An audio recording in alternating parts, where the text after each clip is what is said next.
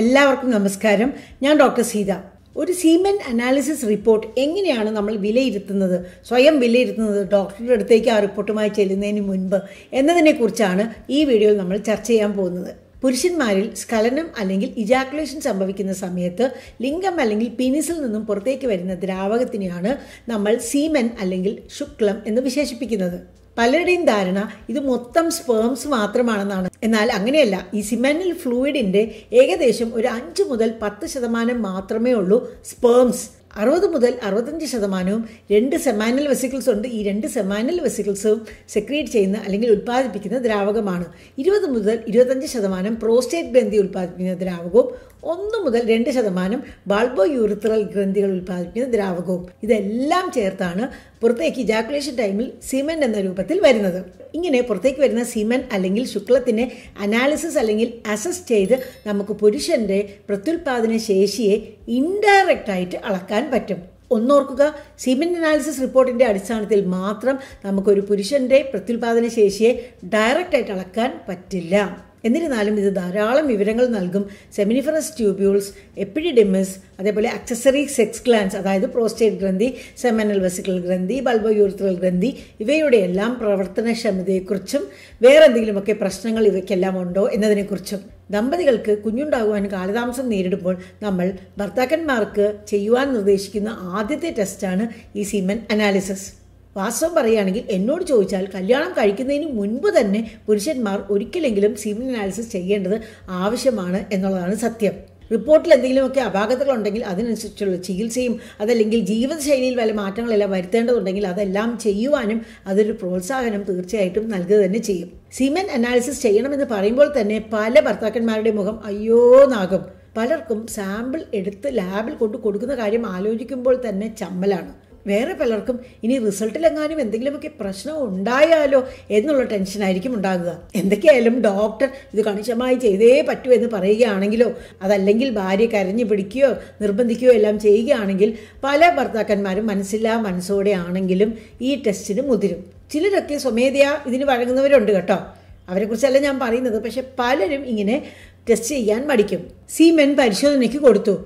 കുറച്ച് കഴിഞ്ഞപ്പോൾ റിപ്പോർട്ടും കിട്ടി. റിപ്പോർട്ട് എടുത്ത് നോക്കുമ്പോഴോ ഒരു ഒറ്റ സാധനം മനസ്സിലാവുന്നില്ല. എന്തൊക്കെയോ എഴുതി കൂട്ടിയിരിക്കുന്നു. അഗ്ലൂട്ടിനേഷൻ ഉണ്ടെന്നോ? വിസ്കോസിറ്റി കൂടുതലാണെന്നോ? അതേപോലെ പ്രോഗ്രസീവ് മോട്ടിലിറ്റി ഇത്രയാണെന്നോ? മോർഫോളജി ഇത്രയാണെന്നോ ഒക്കെ ഒരു സാധനവും പിടികിട്ടുന്നില്ല. അപ്പോൾ പിന്നെ ടെൻഷൻ കൂടുകയായി. ദൈവമേ സീരിയസ് ആയിട്ടുള്ള എന്തെങ്കിലും പ്രശ്നം ഉണ്ടാകുമോ എന്തോ എന്ന്? റിപ്പോർട്ട് കയ്യിൽ കിട്ടി. ഡോക്ടറുടെ അടുത്തേക്ക് ചെല്ലുന്നതിനിടയിലുള്ള ആ സമയത്ത് നമുക്ക് തന്നെ ഒരു പരിധി വരെ നമ്മുടെ റിപ്പോർട്ടിനെ ഒന്ന് വിലയിരുത്താൻ പറ്റും. അതെങ്ങനെയാണെന്ന് നോക്കാം നമുക്ക് അല്ലേ? അതാണ് ഈ വീഡിയോയിലെ ചർച്ചാ വിഷയം. നമ്മുടെ കയ്യിൽ റിപ്പോർട്ട് കിട്ടുമ്പോൾ ആദ്യം നമ്മൾ നോക്കേണ്ടത് നമ്മുടെ പേര് ഡേറ്റ് അതേപോലെ സാമ്പിൾ നമ്മൾ കളക്ട് ചെയ്തു എന്ന് പറഞ്ഞ സമയം സാമ്പിൾ അവിടെ എത്തിച്ച് അവർക്ക് കിട്ടി എന്ന് അവർ രേഖപ്പെടുത്തിയ സമയം ബാക്കി നമ്മുടെ അഡ്രസ്സും ബാക്കി ഡീറ്റെയിൽസും എല്ലാം കറക്റ്റ് ആണല്ലോ എന്ന്. അത് വളരെ പ്രധാനമാണ് കേട്ടോ. റുട്ടീൻ ആയിട്ടുള്ള സീമൻ അനാലിസിസിൽ നമ്മൾ എന്തൊക്കെയാണ് പരിശോധിക്കുന്നത്? ഒന്ന് ഫിസിക്കൽ ക്യാരക്ടറിസ്റ്റിക്സ് ഓഫ് സീമൻ അതല്ലെങ്കിൽ ബാഹ്യമായിട്ടുള്ള ചില കാര്യങ്ങൾ. കളർ പൊട്ടമണം വലുതുമുണ്ടോ? പി എച്ച് ലിക്വിഫാക്ഷൻ വിസ്കോസിറ്റി രണ്ട് സിമൻ വോളിയം മൂന്ന് ടോട്ടൽ സ്പേം കൗണ്ടും സ്പേം കോൺസെൻട്രേഷനും നാല് പല രീതിയിലുള്ള സ്പേം മോട്ടിലിറ്റി അതായത് ചലനശേഷി. അഞ്ച് സ്പേം വൈറ്റാലിറ്റി ആറ് സ്പേം മോർഫോളജി ഏഴ് പഴുപ്പ് വല്ലതുമുണ്ടോ എന്ന്. എട്ട് ഈ സാമ്പിളിൽ ഫ്രുക്ടോസ് എന്ന ഘടകം ഉണ്ടോ ഇല്ലയോ എന്നത്. ഇവ ഓരോന്നിനെ കുറിച്ചും നോർമൽ എന്താണ് അബ്നോർമൽ എന്താണ് എന്നൊക്കെ ഞാൻ പറഞ്ഞു തരാം കേട്ടോ. എല്ലാ ലാബുകളിലും ഈ സീമൻ സാമ്പിളിന്റെ ആ ഒരു വിലയിരുത്തൽ ഒരേപോലെ ആക്കുവാൻ വേണ്ടി ഡബ്ല്യു അല്ലെങ്കിൽ ലോക ആരോഗ്യ സംഘടന ഇടയ്ക്കിടയ്ക്കായിട്ട് ഓരോ ഗൈഡ് ലൈൻസ് പുറത്തിറക്കാറുണ്ട് കേട്ടോ. നമ്മളിപ്പോൾ ഫോളോ ചെയ്യുന്നത് രണ്ടായിരത്തി പത്തിൽ ഡബ്ല്യു എച്ച്ഒ പുറത്തിറക്കിയ ഗൈഡ് ലൈൻസ് ആണ്. സ്പേം മോഫോളജിയുടെ കാര്യത്തിൽ ക്രൂഗേഴ്സ് സ്ട്രിക്റ്റ് ക്രൈറ്റീരിയ ആണ് നമ്മൾ ഫോളോ ചെയ്യുന്നത്. എന്തൊക്കെയായാലും ഈ സിമെൻ അനാലിസിസ് ചെയ്യുന്നത് ഐ വി എഫ് അല്ലെങ്കിൽ ഇക്സി എല്ലാം ചെയ്യുന്ന സെന്റേഴ്സിനോടനുബന്ധിച്ചുള്ള ലാബുകളിൽ നിന്നായിരിക്കുന്നത് ഉചിതം കൃത്യമായ റിപ്പോർട്ട് കിട്ടുവാൻ. റിപ്പോർട്ടിൽ ആദ്യം രേഖപ്പെടുത്തിയിട്ടുണ്ടാവുക കളറാണ്. സാധാരണ നോർമൽ സീമൻ സ്ട്രോ കളേർഡാണ് അതായത് ഏകദേശം ഒരു വൈക്കോളിന്റെ ആ ഒരു നിറമാണ്. സിമിനിന്റെ കളറിന് മാറ്റമുണ്ടാകാം. ബ്ലഡ് ഉണ്ടെങ്കിൽ അല്ലെങ്കിൽ പസ് ഉണ്ടെങ്കിൽ ചില മരുന്നുകൾ കഴിക്കുകയാണെങ്കിൽ ജോണ്ടിസ് ഉണ്ടെങ്കിൽ ഈ സിമൻ സാമ്പിൾ യൂറിൻ മൂലം കണ്ടാമിനേറ്റഡ് ആയിട്ടുണ്ടെങ്കിൽ വേറെയും കാരണങ്ങളുണ്ടാകാം. അടുത്തത് നമ്മൾ നോക്കുന്നത് ഈ സിമൻ സാമ്പിളിന്റെ പി എച്ച് ആണ്. സാധാരണ നോർമൽ സീമൻ സാമ്പിളിന്റെ പി എച്ച് എന്ന് പറയുന്നത് സെവൻ പോയിന്റ് ടുവിനും എയ്റ്റ് പോയിന്റ് ടുവിനും ഇടയ്ക്കാണ്. ഇജാക്കുലേഷന് ശേഷം കൂടുതൽ കൂടുതൽ സമയം ഇരിക്കും തോറും ഈ പി എച്ച് കൂടിക്കൂടി വരും. പ്രോസ്റ്റേറ്റ് സെമാനൽ വെസിക്കിൾസ് ഇവയിലെല്ലാം ഏതെങ്കിലും എല്ലാം ഇൻഫ്ലമേഷൻ ഉണ്ടെങ്കിൽ ഈ പി എച്ചിലെല്ലാം കുറച്ച് മാറ്റം വരാം. റിപ്പോർട്ടിൽ അടുത്തത് രേഖപ്പെടുത്തിയിട്ടുണ്ടാവുക ലിക്വിഫാക്ഷൻ ടൈം എന്ന ആ ഒരു കാര്യമാണ്. സാധാരണ ഇജാക്കുലേഷൻ സമയത്ത് പുറത്തു വരുന്ന സിമിനൽ ഫ്ലൂയിഡ് ലിക്വിഡ് അല്ലെങ്കിൽ ദ്രാവക രൂപത്തിലായിരിക്കും. ഉടൻ തന്നെ അത് കൊയാബിലിറ്റി ചെയ്യും. അതായത് കുറച്ച് കട്ടിയായിട്ടാകും. പതിനഞ്ച് ഇരുപത് മിനിറ്റിനുള്ളിൽ വീണ്ടും അത് ലിക്വിഫൈഡായി ദ്രാവകം പോലെ ആകും. ചിലർക്കൊക്കെ ഈ ലിക്വിഫാക്ഷൻ ടൈം ഒരു അറുപത് മിനിറ്റ് വരെയെല്ലാം നീണ്ടുപോകാം അതും നോർമലാണ് എന്നാൽ രണ്ട് മണിക്കൂർ കഴിഞ്ഞിട്ടും ഈ സിമൻ സാമ്പിൾ മുഴുവനായി ലിക്വിഫൈഡ് ആയിട്ടില്ല എന്നുണ്ടെങ്കിൽ അത് അബ്നോർമൽ തന്നെയാണ്. എങ്ങനെയാണ് ഈ ലിക്വിഫാക്ഷൻ ഉണ്ടാകുന്നത്? ഈ സിമനിലുള്ള പ്രോട്ടീൻസ് കൊയാഗ്ലേറ്റ് ചെയ്യുന്ന വഴിയും അതേപോലെ പ്രോസ്റ്റേറ്റ് ഗ്രന്ഥി ഉൽപ്പാദിപ്പിക്കുന്ന പ്രോസ്റ്റേറ്റ് സ്പെസിഫിക് ആന്റിജൻ എന്ന പ്രോട്ടിയോളിറ്റിക് എൻസൈമിന്റെ സ്വാധീനത്തിലുമാണ് സിമൻ ലിക്വിഫൈഡ് ആകുന്നത്. അപ്പോൾ ഈ ലിക്വിഫാക്ഷൻ നടക്കാൻ എന്തെങ്കിലുമൊക്കെ ബുദ്ധിമുട്ടുണ്ട് അല്ലെങ്കിൽ അത് ഒരുപാട് വൈകുന്നു എന്നുണ്ടെങ്കിൽ അതിനർത്ഥം എന്താ? ഈ പ്രോസ്റ്റേറ്റ് ഉൽപ്പാദിപ്പിക്കുന്ന പ്രോട്ടിയോളിറ്റിക് എൻസൈമിന്റെ കുറവോ അഭാവമോ ആണ്. എന്തായാലും ലിക്വിഫാക്ഷനെ കുറിച്ച് നിങ്ങളുടെ സീമൻ അനാലിസിസ് റിപ്പോർട്ടിൽ ഇങ്ങനെയായിരിക്കും രേഖപ്പെടുത്തിയിട്ടുണ്ടാവുക. Semen sample liquefied within fifteen to twenty minutes അല്ലെങ്കിൽ തേർട്ടി മിനിറ്റ്സ് അതല്ലെങ്കിൽ semen sample fails to liquefy even after one hour two hours അങ്ങനെയൊക്കെ. അടുത്തത് നമ്മൾ നോക്കുന്നത് ഈ സാമ്പിളിന്റെ വിസ്കോസിറ്റിയാണ് ഈ വിസ്കോസിറ്റി എന്താണെന്ന് മനസ്സിലാക്കുവാൻ ഞാനൊരു ഉപമ പറഞ്ഞുതരാം കേട്ടോ. നമ്മൾ ഒരു ഗ്ലാസ്സിൽ ശർക്കര പാനീയത്തിൽ തേങ്ങ കുഞ്ഞു കുഞ്ഞായി അരിഞ്ഞിട്ടിട്ടുണ്ടെന്ന് വിചാരിക്കുക. ഒരു ഗ്ലാസ്സിൽ നിന്നും വേറൊരു ഗ്ലാസ്സിലേക്ക് ആ ശർക്കര പനിയും തേങ്ങയും എല്ലാം കൂടി എടുത്ത് നമ്മൾ അങ്ങോട്ടും ഇങ്ങോട്ടും ഒഴിക്കുകയാണെന്ന് വിചാരിക്കുക. അപ്പോൾ നമ്മൾ അങ്ങനെ ഒഴിക്കുന്ന സമയത്ത് ഈസി ആയിട്ട് ഈ തേങ്ങാ കഷ്ണവും ഇവിടെ നിന്ന് അങ്ങോട്ടും അവിടെ നിന്ന് ഇങ്ങോട്ടും പോകും അല്ലേ? എന്നാൽ നമ്മൾ ഈ തേങ്ങ അടങ്ങിയ ശർക്കര പാനീയം പാക് കാച്ചി കഴിഞ്ഞ് ഒരു ഗ്ലാസ്സിൽ നിന്നും മറ്റേ ഗ്ലാസ്സിലേക്ക് ഒഴിക്കാൻ നോക്കുന്ന സമയത്ത് ഈ തേങ്ങാ കഷ്ണങ്ങൾ അത്ര ഫ്രീ ആയിട്ട് ഒരു ഗ്ലാസ്സിൽ നിന്ന് മറ്റേ ഗ്ലാസ്സിലേക്ക് പോകുമോ? ഇല്ല അല്ലേ? അത് ഈ പാകിൽ കുടുങ്ങി കിടക്കുകയല്ലേ ഉള്ളൂ. അത് തന്നെയാണ് ഈ വിസ്കോസിറ്റി എന്നുകൊണ്ട് നമ്മൾ ഉദ്ദേശിക്കുന്നത്. വിസ്കോസിറ്റി കൂടുന്ന സമയത്ത് സ്പേംസ് എല്ലാം സിവനിൽ തന്നെ കുടുങ്ങിക്കിടന്ന് അകത്തേക്ക് ഫീമെയിൽ ജെന്റൽ ട്രാക്റ്റിലേക്ക് പോകുവാനുള്ള സാധ്യത കുറച്ച് കുറയും. ഫീമെയിൽ ജെന്റൽ ട്രാക്റ്റിലൂടെ ട്യൂബിലേക്ക് പോയി കഴിഞ്ഞാൽ മാത്രമല്ലേ കാത്തിരിക്കുന്ന അണ്ടവുമായി സംയോജിച്ച് ഫെർട്ടിലൈസേഷൻ നടക്കാൻ പറ്റുള്ളൂ അല്ലേ? വിസ്കോസിറ്റി കൂടുതലാണെങ്കിൽ സ്പേം കൗണ്ട് മോട്ടിലിറ്റി മറ്റു കാര്യങ്ങളെല്ലാം മെഷർ ചെയ്യാൻ നമുക്ക് ബുദ്ധിമുട്ട് തന്നെയാണ്. വിസ്കോസിറ്റി കൂടുതലുള്ള സാമ്പിളിൽ ഇതെല്ലാം മെഷർ ചെയ്യാൻ അവർ വേറെ കുറച്ച് പൊടിക്കൈകളൊക്കെ ചെയ്യും കേട്ടോ. അതിനെക്കുറിച്ചൊന്നും ഞാനിവിടെ പറയുന്നില്ല. ഒന്ന് മാത്രം മനസ്സിലാക്കുക വിസ്കോസിറ്റി കൂടുതലാണ് എന്നുണ്ടെങ്കിൽ നിങ്ങളുടെ റിപ്പോർട്ടിൽ അത് രേഖപ്പെടുത്തിയിട്ടുണ്ടാവും. സീമൻ സാമ്പിൾ ഹൈലി വിസ്കസ് അല്ലെങ്കിൽ വിസ്കോസിറ്റി ഇസ് ഇൻക്രീസ്ഡ് അതായത് കൂടുതൽ എന്ന്. പ്രോസ്റ്റേറ്റ് ഗ്രന്ഥിയിലുള്ള എന്തെങ്കിലും പ്രശ്നമോ അതല്ലെങ്കിൽ നമ്മൾ അൺസൂട്ടബിൾ ആയിട്ടുള്ള നല്ലതല്ലാത്ത പ്ലാസ്റ്റിക് കണ്ടെയ്നറാണ് ഈ സാമ്പിൾ കളക്ട് ചെയ്യാൻ ഉപയോഗിക്കുകയാണെങ്കിലോ ഇങ്ങനെ വിസ്കോസിറ്റി പ്രശ്നം വരാവുന്നതാണ്. അടുത്തത് നമ്മൾ നോക്കുന്നത് സിമെന്റിന്റെ ടോട്ടൽ വോളിയമാണ് സാധാരണ നമ്മൾ പറയുന്നത് രണ്ടോ മൂന്നോ ദിവസത്തെ അപ്ഷൻസ് അതായത് രണ്ടോ മൂന്നോ ദിവസം ഈ സിമെന്റ് പുറത്തേക്ക് കളയാതെ വേണം വരുവാൻ ഇത് പരിശോധിക്കാൻ എന്നാണ്. അപ്പോഴേ നമുക്ക് ഈ വോളിയം കറക്റ്റായിട്ട് അസസ് ചെയ്യാൻ പറ്റുകയുള്ളൂ. അങ്ങനെ ശ്രദ്ധിച്ച ശേഷം നമ്മൾ സീമൻ പരിശോധനയ്ക്ക് കൊടുക്കുമ്പോൾ നോർമൽ വോളിയം എന്ന് പറയുന്നത് രണ്ട് എം എല്ലിനും ആറ് എം എല്ലിനും ഇടയ്ക്കാണ്. വൺ പോയിന്റ് ഫൈവ് എം എല്ലിന് താഴെയാണ് നമ്മുടെ ഈ സിമെന്റ് വോളിയം എന്നുണ്ടെങ്കിൽ അതിനെ ഹൈപ്പോസ്പേമിയ എന്ന് വിശേഷിപ്പിക്കും. ഏഴ് എം എല്ലിന് മുകളിലാണ് ഈ സിമെന്റ് വോളിയം എന്നുണ്ടെങ്കിൽ ഹൈപ്പർ സ്പേമിയ എന്ന് വിശേഷിപ്പിക്കും. ഓർഗാസം വന്നു എന്നാൽ സിമൻ പുറത്തേക്ക് വരുന്നില്ല എന്നുണ്ടെങ്കിൽ അതിനെ ആസ്പേമിയ എന്ന് വിശേഷിപ്പിക്കും. നിങ്ങളുടെ റിപ്പോർട്ടിൽ രേഖപ്പെടുത്തിയിട്ടുണ്ടാവും volume is two M L three M L എന്നിങ്ങനെ. ഏതെങ്കിലും കാരണവശാൽ കുറച്ചൊക്കെ സീമൻ നമ്മൾ ഈ കളക്ട് ചെയ്യുന്ന സമയത്ത് നഷ്ടപ്പെട്ടു പോയിട്ടുണ്ട് എന്നുണ്ടെങ്കിൽ അത് ലാബിൽ പ്രത്യേകിച്ച് പറയണം. അങ്ങനെയാണെങ്കിലേ അവർക്ക് അതും ആ റിപ്പോർട്ടിൽ മെൻഷൻ ചെയ്യാൻ പറ്റുകയുള്ളൂ.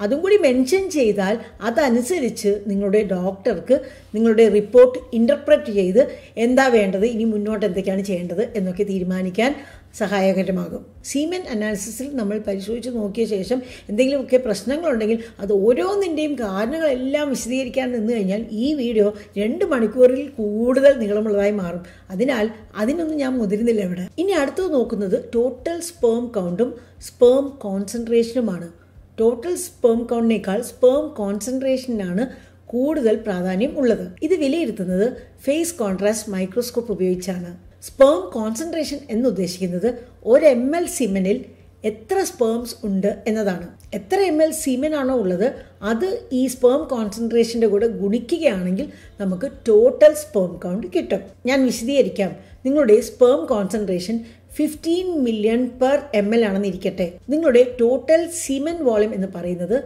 ത്രീ എം എൽ ആണെന്നിരിക്കട്ടെ അങ്ങനെയാണെങ്കിൽ നിങ്ങളുടെ ടോട്ടൽ സ്പേം കൗണ്ട് എത്രയായിരിക്കും? ഫിഫ്റ്റീൻ ഇന്റു ത്രീ അതായത് ഫോർട്ടി ഫൈവ് മില്യൺ മനസ്സിലായോ? Total sperm count sperm concentration എന്നിവയുടെ എല്ലാം അടിസ്ഥാനത്തിൽ നമ്മൾ ഒരു സാമ്പിളിനെ നോർമോസൂസ്പേമിക് ഒളിഗോസൂസ്പേമിക് അസൂസ്പേമിക് എന്നൊക്കെ വിശേഷിപ്പിക്കും. നോർമോസൂസ്പേമിക് എന്ന് പറഞ്ഞാൽ സ്പേം കോൺസെൻട്രേഷൻ ചുരുങ്ങിയത് fifteen million per M L എന്നുണ്ടാകണം. അത് ശരിക്കും ലോവർ ലിമിറ്റ് ഓഫ് നോർമലാണ് ഒരു ഇരുപത് ഇരുപത്തഞ്ചൊക്കെ ഉണ്ടെങ്കിൽ നമുക്ക് നല്ലതാണ്. ഫിഫ്റ്റീൻ എങ്കിലും ചുരുങ്ങിയത് ഉണ്ടാകണം. ഒളിഗോസൂസ്പെർമിയ എന്ന് പറയുമ്പോൾ sperm concentration fifteen million per M എല്ലിന് താഴെയാണ്. അസൂസ്പെർമിയ എന്ന് പറയുമ്പോൾ നമ്മൾ കൊടുത്തിരിക്കുന്ന സീമൻ സാമ്പിളിൽ തീരെ സ്പേംസ് കാണാനില്ല എന്നതാണ്. ഇതും നിങ്ങളുടെ റിപ്പോർട്ടിൽ എഴുതിയിട്ടുണ്ടാകും. സ്പേം കോൺസെൻട്രേഷൻ ഇത്ര million per M L total sperm count ഇത്ര മില്യൺ എന്ന്. അസൂസ്പേമിയ ആണെങ്കിൽ അത് റിപ്പോർട്ടിൽ എഴുതുന്നതിന് മുൻപ് ഈ സിമൻ സാമ്പിൾ നന്നായി സെൻട്രിഫ്യൂഗ് ചെയ്ത് അടിയിൽ അടിഞ്ഞു വരുന്ന ആ പെല്ലറ്റ് ഉണ്ടല്ലോ അത് ഒന്നും കൂടി വിശദമായി പരിശോധിച്ച് നോക്കി ഉറപ്പാക്കിയ ശേഷം മാത്രമേ അങ്ങനെ ഒരു വാക്ക് എഴുതുകയുള്ളൂ. അസോസ്പേമിയ എന്ന റിപ്പോർട്ടിൽ കണ്ടു കഴിഞ്ഞാൽ പിന്നെ ആകെ ടെൻഷനായി പരവേശമായി എല്ലാവർക്കും അല്ലേ? അയ്യോ തങ്ങൾക്ക് കുഞ്ഞുങ്ങൾ ഉണ്ടാവുകയേ ഇല്ലേ എന്നൊക്കെ ആലോചിച്ച്. അസൂസ്പേമിയ തന്നെ രണ്ട് തരത്തിലുണ്ട്. Obstructive azoospermia non obstructive azoospermia. ഇതിൽ ഏതാണ് കാരണം? എന്തുകൊണ്ടാണ് ഇങ്ങനെ വന്നത്?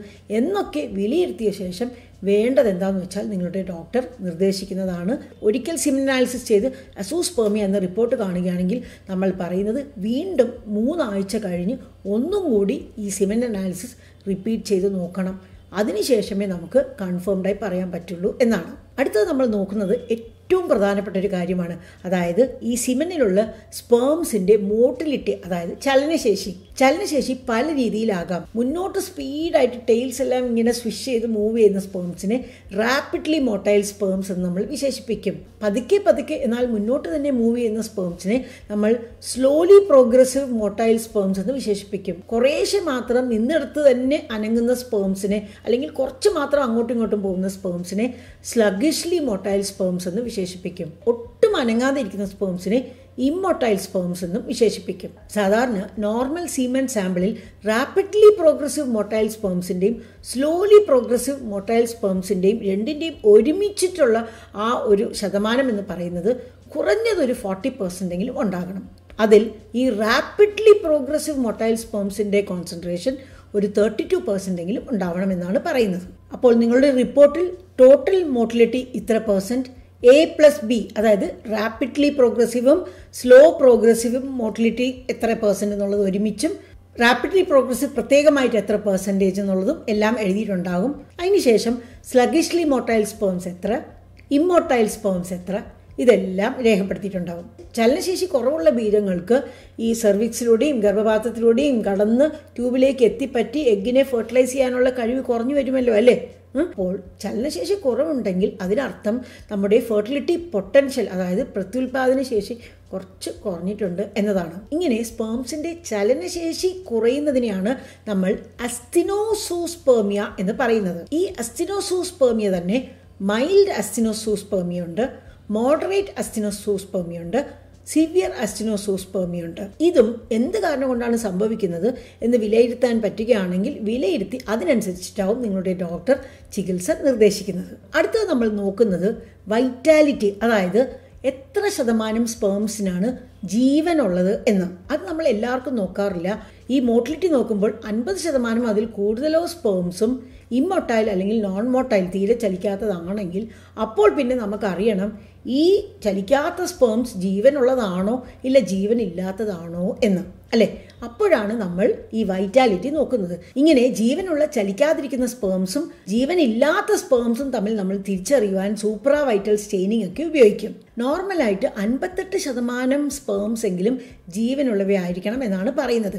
അപ്പോൾ അതും നിങ്ങളുടെ റിപ്പോർട്ടിൽ രേഖപ്പെടുത്തിയിട്ടുണ്ടാവും. എല്ലാവരുടെ റിപ്പോർട്ടിലും ഈ വൈറ്റാലിറ്റി എത്ര പെർസെന്റേജ് ഉണ്ടെന്ന് രേഖപ്പെടുത്തിയിട്ടുണ്ടാവില്ല കേട്ടോ. ഞാൻ പറഞ്ഞതുപോലെ ഈ ഇമോട്ടൈൽ സ്പേംസ് ഫിഫ്റ്റി പെർസെന്റ് മുകളിലാണെങ്കിൽ മാത്രമേ വൈറ്റാലിറ്റി നോക്കുകയുള്ളൂ. അങ്ങനെ വൈറ്റാലിറ്റി നോക്കി അത് എത്രയാണെന്നുള്ളത് അവിടെ രേഖപ്പെടുത്തിയിട്ടുണ്ടാകും. വൈറ്റാലിറ്റി ഫോർട്ടി പെർസെന്റ് അല്ലെങ്കിൽ vitality thirty percent vitality twenty percent എന്നൊക്കെ. ജീവനില്ലാത്ത സ്പേംസ് ധാരാളം ഉള്ളതിനെയാണ് നെക്രോസോസ്പേമിയ എന്ന് വിശേഷിപ്പിക്കുന്നത്. അടുത്തത് നമ്മൾ നോക്കുന്നത് സ്പേമിന്റെ മോർഫോളജിയാണ്. അതായത് സ്പേമിന്റെ ഷേപ്പ് എല്ലാമാണ് നോർമൽ സ്പേം ഇങ്ങനെയാണ് ഇരിക്കുന്നത്. ഞാൻ പണം കാണിച്ചു തരാം കേട്ടോ ഇവിടെ. ഒരു സ്പേമിന് ഹെഡുണ്ട് മിഡ് പീസ് ഉണ്ട് ടെയിലുണ്ട് ഹെഡിൽ തന്നെ പല കാര്യങ്ങളുണ്ട്. അതിൽ പ്രധാനപ്പെട്ട കാര്യമാണ് അക്രോസൈം എന്ന് പറയുന്നത്. അതുപോലെ മിഡ് പീസിലും വളരെ പ്രധാനപ്പെട്ട ഘടകങ്ങൾ അടങ്ങിയിട്ടുണ്ട്. ഈ പടത്തിൽ പറഞ്ഞിരിക്കുന്നില്ലേ? ഓരോ കാര്യങ്ങളും ഇത്രത്രയാണ് മെഷർമെന്റ് വേണ്ടത് ഈ ഷേപ്പിലാണ് വേണ്ടത് എന്നൊക്കെ. അതിൽ നിന്നും എന്തെങ്കിലും വ്യത്യാസമുണ്ടെങ്കിൽ അതിനെ അബ്നോർമൽ സ്പേം എന്നാണ് നമ്മൾ വിശേഷിപ്പിക്കുന്നത്. ഞാൻ മുൻപ് പറഞ്ഞതുപോലെ ക്രൂഗേഴ്സ് സ്ട്രിക്റ്റ് ക്രൈറ്റീരിയ ഉപയോഗിച്ചാണ് നമ്മൾ ഈ മോർഫോളജി അസസ് ചെയ്യുന്നത് അല്ലെങ്കിൽ വിലയിരുത്തുന്നത്. അപ്പോൾ ഈ ക്രൈറ്റീരിയയിൽ നിന്നും കുറച്ചെങ്കിലും വ്യത്യാസമുള്ള സ്പേംസിനെ എല്ലാം തന്നെ നമ്മൾ അബ്നോർമൽ മോർഫോളജി ഉള്ള സ്പേംസ് ആയിട്ടാണ് കണക്കാക്കുന്നത്.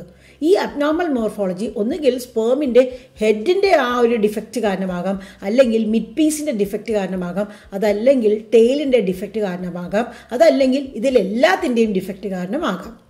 ഹെഡിന്റെ കാര്യം നോക്കുകയാണെങ്കിൽ ലാർജ് ഹെഡ് ഉണ്ടാവാം സ്മോൾ ഹെഡ് ഉണ്ടാവാം പൈവിഫോം ഹെഡ് ഉണ്ടാവാം റൗണ്ട് ഹെഡ് ഉണ്ടാവാം വാക്കുലേറ്റഡ് ഹെഡ് ഉണ്ടാവാം. ഡബിൾ ഹെഡ്സ് ഉണ്ടാവാം. അതല്ലെങ്കിൽ വേറെ എന്തെങ്കിലും പ്രശ്നങ്ങൾ ഉണ്ടാവാം. നെക്ക് ആൻഡ് മിഡ് പീസിന്റെ ഡിഫക്ട്സ് നോക്കുകയാണെങ്കിൽ ബെൻഡ് നെക്ക് ഉണ്ടാകാം. തിക്ക് ഇറഗുലർ മിഡ് പീസ് ഉണ്ടാകാം. തിൻ മിഡ് പീസ് ഉണ്ടാകാം. അല്ലെങ്കിൽ വേറെ ഏതെങ്കിലും ഒക്കെ പ്രശ്നങ്ങൾ ഉണ്ടാകാം. ടെയിലിന്റെ ഡിഫക്ട്സ് നോക്കുകയാണെങ്കിൽ ഷോർട്ട് ടെയിൽ ഉണ്ടാകാം. മൾട്ടിപ്പിൾ ടെയിൽസ് ഉണ്ടാകാം. ഹെയർ പിൻ ടെയിൽ ഉണ്ടാകാം. ബ്രോക്കൺ ടെയിൽ ഉണ്ടാകാം. Bend tail kinked tail coiled tails അല്ലെങ്കിൽ വേറെ പല തരത്തിലുള്ള പ്രശ്നങ്ങൾ. ഇങ്ങനെ ഒരുപാട് കാര്യങ്ങൾ നമ്മൾ ഈ മോർഫോളജി നോക്കുമ്പോൾ അസസ് ചെയ്യാറുണ്ട്. അതും നിങ്ങളുടെ റിപ്പോർട്ടിൽ രേഖപ്പെടുത്തിയിട്ടുണ്ടാവും.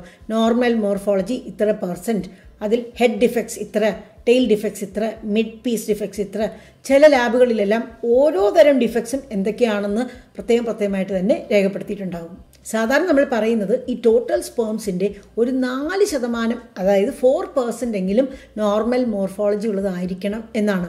അങ്ങനെയാണെങ്കിൽ ഐ വി എഫ് എല്ലാം ചെയ്താൽ പോലും വിജയം കൂടാനുള്ള സാധ്യതയുള്ളൂ എന്നാണ് പറയുന്നത്. ഒരു ട്വന്റി പെർസെന്റ് അല്ലെങ്കിൽ ഇരുപത് ശതമാനത്തിന് മുകളിൽ നോർമൽ മോർഫോളജി ഉള്ള ഒരു സിമൻ സാമ്പിൾ ഇന്നത്തെ കാലത്ത് കാണുവാൻ വളരെ ബുദ്ധിമുട്ടാണ്. ആരുടെയെങ്കിലും semen sample ninety percent normal morphology അല്ലെങ്കിൽ സെവന്റി പെർസെന്റ് നോർമൽ മോർഫോളജി എന്നൊക്കെ പറഞ്ഞാൽ അത് ശരിയല്ല. അങ്ങനെയാണെങ്കിൽ ആ റിപ്പോർട്ട് തന്നെ നമ്മൾ തഴയേണ്ടതായിട്ട് വരും. പ്രത്യേകിച്ചും മോട്ടിലിറ്റിക്കൊക്കെ എന്തെങ്കിലും പ്രശ്നമുണ്ട് വേറെ എന്തെങ്കിലുമൊക്കെ പ്രശ്നങ്ങളുണ്ട് എന്നുണ്ടെങ്കിൽ പക്ഷേ ഈ മോർഫോളജി ഇത്ര കൂടുതലായിട്ട് അവർ രേഖപ്പെടുത്തിയിട്ടുണ്ടെങ്കിൽ ആ റിപ്പോർട്ട് തന്നെ ശരിയല്ല തഴയേണ്ടതായിട്ട് വരും. ഞാൻ എന്റെ പല പേഷ്യൻസിനോടും ഈ ഒരു കാര്യം ചൂണ്ടിക്കാട്ടി വിശദീകരിച്ച് അവരെ മനസ്സിലാക്കിക്കാൻ ശ്രമിക്കാറുണ്ട്. Sperm count motility liquefaction viscosity എല്ലാം നോർമൽ ആണെങ്കിൽ മോർഫോളജി കുറച്ച് കുറഞ്ഞു എന്നതുകൊണ്ട് മാത്രം പ്രഗ്നന്റ് ആവാതെയൊന്നും ഇരിക്കില്ല. എന്നാൽ മോർഫോളജി കുറച്ചുകൂടി നല്ലതാകുക എന്നതിനർത്ഥം ആരോഗ്യപരമായിട്ടുള്ള സ്പേംസിന്റെ ആ ഒരു പെർസെന്റേജ് കുറച്ച് കൂടുതലാണ് എന്ന് തന്നെയല്ലേ? അപ്പോൾ അതിനായിട്ടല്ലേ നമ്മൾ ശ്രമിക്കേണ്ടത്? സ്പേംസിന്റെ ഷേപ്പിലുള്ള അപാകതയെ നമ്മൾ ടെറട്ടോസോസ്പേമിയ എന്നാണ് വിശേഷിപ്പിക്കുന്നത്. ഇതും മൈൽഡ് മോഡറേറ്റ് സിവിയർ എന്നീ വെറൈറ്റീസ് ഉണ്ട്. ചില കേസുകളിലൊക്കെ മിക്ക സ്പേംസിനും ആ സ്പേംസിന്റെ ഹെഡിലുള്ള അക്രോസൈം എന്ന വളരെ പ്രധാനപ്പെട്ട ഭാഗം ഇല്ലാതിരിക്കും. അതിനെ ഗ്ലോബോസ്പേർമിയ എന്നാണ് വിശേഷിപ്പിക്കുന്നത്. സ്പേംസിന്റെ മോർഫോളജി കുറയുവാനുള്ള കാരണങ്ങളെക്കുറിച്ചും അത് എങ്ങനെയാണ് ശരിയാക്കുവാൻ പറ്റുന്നത് എന്നതിനെക്കുറിച്ചുമെല്ലാം നിങ്ങളുടെ ഡോക്ടർ നിങ്ങൾക്ക് വിശദമായി പറഞ്ഞു തന്ന് അതിനനുസരിച്ചിട്ടുള്ള ചികിത്സ കുറിച്ചു തരും. ഇനി അടുത്തത് നോക്കുന്നത് സിമനിൽ ഫ്രുക്ടോസ് ഉണ്ടോ? ഉണ്ടെങ്കിൽ അതിന്റെ അളവ് നോർമലാണോ ഇല്ല കുറവാണോ എന്നതാണ്. പേംസിന്റെ ആ മൂവ്മെന്റിനും മറ്റു കാര്യങ്ങൾക്കുമെല്ലാം ഊർജം നൽകുന്നത് ഫ്രുക്ടോസ് ആണ്. ഈ ഫ്രുക്ടോസ് ഉൽപ്പാദിപ്പിക്കുന്നതാകട്ടെ സെമൈനൽ വെസിക്കിൾസ് ആണ്. ഏതെങ്കിലും സിമൻ സാമ്പിളിൽ അതായത് ഈ ടോട്ടൽ ഇജാക്കുലേറ്റിൽ ഫ്രുക്ടോസിന്റെ അളവ് തേർട്ടീൻ മൈക്രോ മോളിനും താഴെയാണെങ്കിൽ അത് അബ്നോർമലാണ് അപ്പോൾ അത് എന്തുകൊണ്ടാണെന്ന് വിശകലനം ചെയ്ത് അതിനുവേണ്ട കാര്യങ്ങൾ ചെയ്യേണ്ടതാണ്. നിങ്ങളുടെ റിപ്പോർട്ടിൽ അതും രേഖപ്പെടുത്തിയിട്ടുണ്ടാവും. ഫ്രുക്ടോസ് പ്രസന്റ് ആബ്സെന്റ് എന്ന്. അടുത്ത നമ്മൾ നോക്കുന്നത് ഈ സിമനിൽ പസൽസ് ഉണ്ടോ? ഉണ്ടെങ്കിൽ എത്രയാണുള്ളത് എന്നതാണ്. സിമനിൽ ധാരാളം പസൽസ് ഉണ്ടെങ്കിൽ നമ്മൾ അതിനെ പയോസ്പേമിയ എന്നാണ് വിശേഷിപ്പിക്കുന്നത്. ഈ സിമനിൽ പസൽസ് കാണുമ്പോൾ പലർക്കും ടെൻഷനാണ് അയ്യോയ്യോ എങ്ങനെയാണ് എന്റെ സ്പേംസിലൊക്കെ പസൽസ് വന്നത് എന്നാണ് പലരും ആലോചിക്കുന്നത്. ഒന്ന് ഓർക്കുക ഞാൻ മുമ്പ് പറഞ്ഞല്ലോ അല്ലേ? ഈ സിമെന്റിന്റെ പ്രധാന ഘടകങ്ങൾ എന്ന് പറയുന്നത് സിമനൽ വെസിക്കിൾസ് നിന്നും പ്രോസ്റ്റേറ്റ് ഗ്രന്ഥിയിൽ നിന്നുമുള്ള ദ്രാവകങ്ങളാണ് അല്ലേ? അപ്പോൾ ഈ പ്രോസ്റ്റേറ്റ് ഗ്രന്ഥിയിലോ സെമാനൽ വെസിക്കിൾസിലോ എല്ലാം എന്തെങ്കിലുമൊക്കെ ഇൻഫെക്ഷനോ ഇൻഫ്ലമേഷനോ ഒക്കെ ഉണ്ടെങ്കിൽ പസ് വരാമല്ലോ അല്ലേ? സാധാരണ എല്ലാ സിമൻ സാമ്പിളിലും കുറച്ച് പസൽസ് അല്ലെങ്കിൽ ഡബ്ല്യു ബി സി ഉണ്ടാകും. റിപ്പോർട്ടിൽ അത് രേഖപ്പെടുത്തിയിട്ടും ഉണ്ടാകും. ത്രീ ടു ഫൈവ് അല്ലെങ്കിൽ four to five per high power field അതായത് H P F pus cells കൂടുതലായിട്ടുണ്ടെങ്കിൽ നിങ്ങളുടെ ഡോക്ടർ അതിന് വേണ്ട ചികിത്സ നൽകുന്നതായിരിക്കും. ചികിത്സിച്ചിട്ടും ഭേദമായില്ലെങ്കിൽ പിന്നെ നമ്മൾ സിമൻ കൾച്ചറിനൊക്കെ കൊടുത്ത് യൂറിനൊക്കെ കൾച്ചർ കൊടുക്കില്ലേ? അതേപോലെ കൾച്ചർ സെൻസിറ്റിവിറ്റി എല്ലാം ചെയ്ത് നമുക്ക് ഏത് മരുന്നാണോ ഏറ്റവും അനുയോജ്യം അതനുസരിച്ചിട്ട് തരുന്നതായിരിക്കും. ഇങ്ങനെ സിമനിൽ പസൽസ് എല്ലാം കൂടുതലായിട്ടുണ്ടെങ്കിൽ താൽക്കാലികമായിട്ടെങ്കിലും സ്പേം മോട്ടിലിറ്റിയെ പ്രതികൂലമായി ബാധിക്കാം. അപ്പോൾ സ്പേം മോട്ടിലിറ്റി കുറവാണ് പസൽസും കൂടുതലായിട്ടുണ്ടെന്നുണ്ടെങ്കിൽ നമുക്ക് കുറച്ച് ആശ്വസിക്കാം. ഈ ഇൻഫെക്ഷൻ എല്ലാം ഒന്ന് ട്രീറ്റ് ചെയ്ത് കഴിയുമ്പോൾ മോട്ടിലിറ്റി കൂടാനുള്ള സാധ്യത തീർച്ചയായിട്ടും ഉണ്ട്.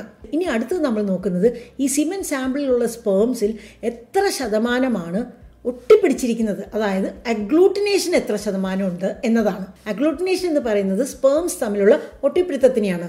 സ്പേംസ് തമ്മിൽ ഇങ്ങനെ ഒട്ടിപ്പിടിച്ചിരിക്കുകയാണെങ്കിൽ മുന്നോട്ടുള്ള അവരുടെ ആ ഒരു ചലനത്തെ അത് പ്രതികൂലമായി ബാധിക്കും അല്ലേ? നമ്മൾ തനിയെ ഓടാൻ ശ്രമിക്കുമ്പോഴും നമ്മൾ വേറെ ആളുടെ കൈയും കൂടി പിടിച്ചുകൊണ്ട് ഓടാൻ ശ്രമിക്കുമ്പോഴും ഒരേ സ്പീഡിലാണോ ഓടാൻ പറ്റുന്നത്? അല്ലല്ലോ അല്ലേ? തന്നെ ഓടുമ്പോഴാണല്ലോ കുറച്ചുകൂടി സ്പീഡിൽ ഓടാൻ പറ്റുന്നത്. അതേപോലെ ഇങ്ങനെ സ്പേംസ് അഗ്ലൂട്ടിനേറ്റഡ് ആയി ഒട്ടിപ്പിടിച്ചിരിക്കുകയാണെങ്കിൽ അവയുടെ മുന്നോട്ടുള്ള ആ ചലനശേഷി ഉണ്ടല്ലോ അത് കുറയാനുള്ള സാധ്യതയുണ്ട്. പലവിധ കാരണങ്ങൾ കൊണ്ട് ഇങ്ങനെ അഗ്ലൂട്ടിനേഷൻ വരാം. ചിലപ്പോൾ കാരണങ്ങളൊന്നും തന്നെ ഉണ്ടാകില്ല. അതിനും നിങ്ങളുടെ ഡോക്ടർ നോക്കിയും കണ്ടും ട്രീറ്റ്മെന്റ് നിർദ്ദേശിക്കുന്നതായിരിക്കും. സാധാരണ നിങ്ങളുടെ സിമെന്റ് അനാലിസിസ് റിപ്പോർട്ടിൽ ഇത്രയും കാര്യങ്ങളെക്കുറിച്ചായിരിക്കും വിവരിച്ചിട്ടുണ്ടാവുക. അതിന്റെ അടിയിൽ അവസാനം അവർ ഇൻഫറൻസ് അല്ലെങ്കിൽ റിപ്പോർട്ടിന്റെ ആ ഒരു കൺക്ലൂഷൻ എന്ന രീതിയിൽ കുറച്ച് കാര്യങ്ങൾ എഴുതിയിട്ടുണ്ടാവും. അതിനെക്കുറിച്ചും കൂടി ജസ്റ്റ് ഒന്ന് പറയാം. ഒളിഗോ അസ്റ്റിനോസോസ്പേമിയ എന്ന് പറഞ്ഞാൽ കൗണ്ടും കുറവാണ് മോട്ടിലിറ്റിയും കുറവാണ് എന്നർത്ഥം. ഒളിഗോ അസ്റ്റിനോ ടെറട്ടോസോസ്പേമിയ എന്ന് പറഞ്ഞാൽ കൗണ്ട് മോട്ടിലിറ്റി മോർഫോളജി എല്ലാം കുറവാണ് എന്നർത്ഥം. ഇതിനെ നമ്മൾ ഷോർട്ട് ഫോമിൽ ഓട്ട് ഒ എ ടി എന്നും വിശേഷിപ്പിക്കും. അങ്ങനെയും ചിലപ്പോൾ റിപ്പോർട്ടിൽ കാണാറുണ്ട്. ഈ പറഞ്ഞ രണ്ട് കാര്യങ്ങളെക്കുറിച്ച് പറയുമ്പോഴും അത് മൈൽഡ് ആണോ മോഡറേറ്റ് ആണോ സിവിയർ ആണോ എന്ന കാര്യവും റിപ്പോർട്ടിൽ രേഖപ്പെടുത്തിയിട്ടുണ്ടാകും. അപ്പോൾ നോർമൽ സീമൻ അനാലിസിസിൽ നമ്മൾ ഇങ്ങനെയൊക്കെയാണ് ചെയ്യുന്നത് ഇങ്ങനെയൊക്കെയാണ് റിപ്പോർട്ടിൽ രേഖപ്പെടുത്തുകയും ചെയ്യുന്നത്. ഒരൊറ്റ പ്രാവശ്യം സിമൻ അനാലിസിസ് ചെയ്തതുകൊണ്ട് മാത്രം ആ റിപ്പോർട്ട് അക്യുറേറ്റ് അല്ലെങ്കിൽ കൃത്യമായിട്ടാവണമെന്നില്ല അത് നല്ല റിപ്പോർട്ടാണെങ്കിലും ശരി മോശമായിട്ടുള്ള റിപ്പോർട്ടാണെങ്കിലും ശരി. എന്തുകൊണ്ടെന്നാൽ പലവിധ സാഹചര്യങ്ങൾ മൂലം ഈ സിമൻ പാരാമീറ്റേഴ്സിൽ പലതും പ്രതികൂലമായോ അനുകൂലമായോ ബാധിക്കപ്പെടാം. സിമൻ അനാലിസിസിന് നമ്മൾ സാമ്പിൾ കൊടുക്കുന്നതിന് മുമ്പ് എന്തൊക്കെ ഇൻസ്ട്രക്ഷൻസ് ആണ് ഫോളോ ചെയ്യേണ്ടത് എന്നതിനെക്കുറിച്ചുള്ളൊരു വീഡിയോ ഞാൻ നമ്മുടെ ചാനൽ മൈൻഡ് ബോഡി ടോണിക്കിൽ ഇട്ടിട്ടുണ്ടല്ലോ അല്ലേ? അതൊന്ന് പോയി കാണുക. അപ്പോൾ നിങ്ങൾക്ക് മനസ്സിലാവും നമ്മൾ ഈ സിമൻ അനാലിസിന് സാമ്പിൾ കൊടുക്കുന്നതിന് മുമ്പ് എന്തൊക്കെയാണ് ശ്രദ്ധിക്കേണ്ടത് എന്ന്.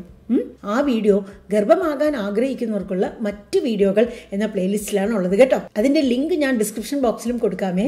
വാസ്തവം പറയുകയാണെങ്കിൽ സിമൻ അനാലിസിസ് നമ്മൾ ഒരു രണ്ടോ മൂന്നോ പ്രാവശ്യം രണ്ടോ മൂന്നോ ആഴ്ച ഇടവേളകളിൽ ചെയ്യുന്നതായിരിക്കും ഏറ്റവും ഉചിതം. എന്നാൽ റിപ്പോർട്ടെല്ലാം കുഴപ്പമില്ലാത്തതാണെങ്കിൽ നമ്മൾ ഏതെങ്കിലും ഒരു വ്യക്തിയോട് വീണ്ടും ഒരു മൂന്നാഴ്ച കൂടി ഒന്നും കൂടി ചെയ്യൂ എന്ന് പറയുകയാണെങ്കിൽ ആരും അത് ചെയ്യാൻ മുതിരില്ല. റിപ്പോർട്ടിൽ എന്തെങ്കിലും പ്രശ്നമുണ്ടെങ്കിൽ പിന്നെയും അവരതിന് മുതിരും. റിപ്പോർട്ടിൽ കുഴപ്പമൊന്നുമില്ലെങ്കിൽ ആരും അത് ചെയ്യില്ല. അത് കാരണം നമ്മൾ മിക്കപ്പോഴും പറഞ്ഞിട്ടും വലിയ കാര്യമില്ല. പറയാറുമില്ല. ശരി ഈ വീഡിയോയിൽ പറയാനുള്ള കാര്യങ്ങളെല്ലാം ഞാൻ പറഞ്ഞു കഴിഞ്ഞു. നിങ്ങൾക്കെല്ലാം മനസ്സിലായി കാണുമെന്ന് വിചാരിക്കുന്നു. മനസ്സിലായില്ലെങ്കിൽ രണ്ടോ മൂന്നോ പ്രാവശ്യം ഇതൊന്ന് കാണുക. അപ്പോൾ നിങ്ങൾക്ക് മനസ്സിലാവും. റൈറ്റ് ഈ വിവരങ്ങളെല്ലാം നിങ്ങൾക്ക് അറിയുകയാണെങ്കിൽ നിങ്ങൾ ഡോക്ടറുടെ അടുത്ത് ചെല്ലുമ്പോൾ നിങ്ങൾക്ക് എന്തെങ്കിലുമൊക്കെ സംശയങ്ങളുണ്ടെങ്കിൽ ഡോക്ടറോട് ചോദിച്ച് മനസ്സിലാക്കി അതിനനുസരിച്ചിട്ട് വേണ്ട നിർദ്ദേശങ്ങളെല്ലാം കിട്ടാൻ വേണ്ടി ശ്രമിക്കാവുന്നതാണ്. അല്ലേ? ചിലപ്പോൾ തിരക്കേറിയ ഒരു ഡോക്ടറുടെ അടുത്തേക്ക് ചെല്ലുമ്പോൾ എല്ലാം കൂടി ഒന്നും പറഞ്ഞു തരാനൊന്നും ഡോക്ടർക്ക് സമയം ഉണ്ടാവില്ല അല്ലേ? അപ്പോൾ നിങ്ങൾ തന്നെ നോക്കി ഒരുവിധമൊക്കെ മനസ്സിലാക്കി കഴിഞ്ഞാൽ നിങ്ങൾക്ക് സംശയമുള്ള കാര്യങ്ങളെല്ലാം ഡോക്ടറോട് ചോദിക്കാവുന്നതാണല്ലോ അല്ലേ? അപ്പോൾ അങ്ങനെയെല്ലാം ചെയ്യുവാൻ ഈ വീഡിയോ നിങ്ങൾക്ക് ഉപകാരപ്രദമാകും എന്ന പ്രതീക്ഷയിൽ തന്നെ ഞാൻ നിർത്തട്ടെ വീഡിയോ.